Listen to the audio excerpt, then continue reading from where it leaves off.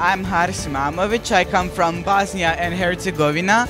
Uh, I'm 15 years old and this is my first time at IOI and I hope to come again next year. Uh, I'm Admir Zatega, I'm 15. I'm representing Bosnia and Herzegovina. And yeah, this is my first time on IOI. I'm Tarik Dzaka from Bosnia and Herzegovina. Uh, this is my first time at IOI and unfortunately the last one, but it was a great experience.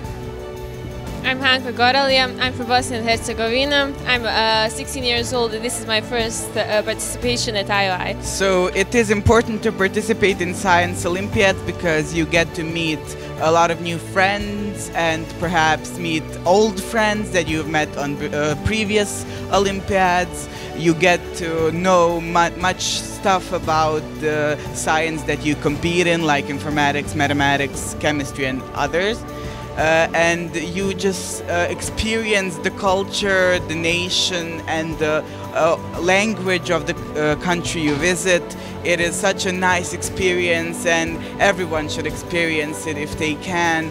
Um, they should put effort to uh, participate in it and give the, the, best they can. Gold medal! No, I'm just kidding. Uh, to have fun. yeah, to have fun and enjoy probably. To meet new people and enjoy. And don't spend a lot of time in my room.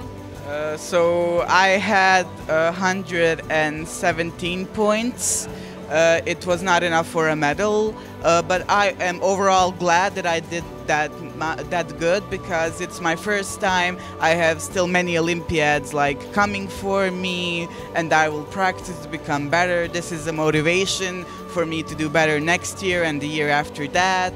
I met a lot of new people. I enjoyed Baku. It's such a beautiful city. I had such a wonderful time. Overall, this Olympiad is one of the best events in my life. Don't be sad if you didn't get a medal, because I didn't get one either. Thank, Thank you, Baku. Čok Baku. Hvala, Baku.